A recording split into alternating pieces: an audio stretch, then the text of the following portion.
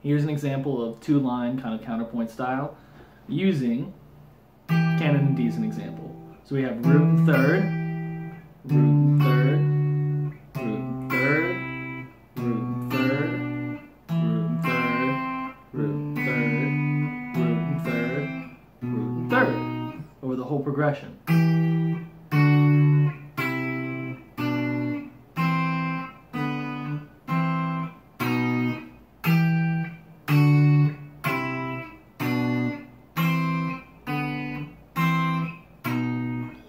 Then with the line, which is basically you're using a bar on that first finger as you go down, open string down in the lower parts.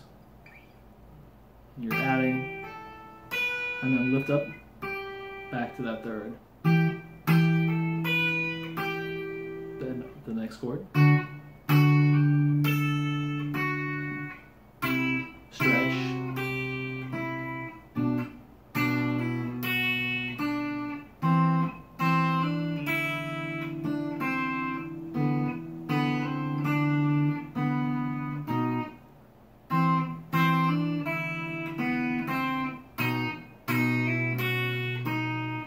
do that a little faster.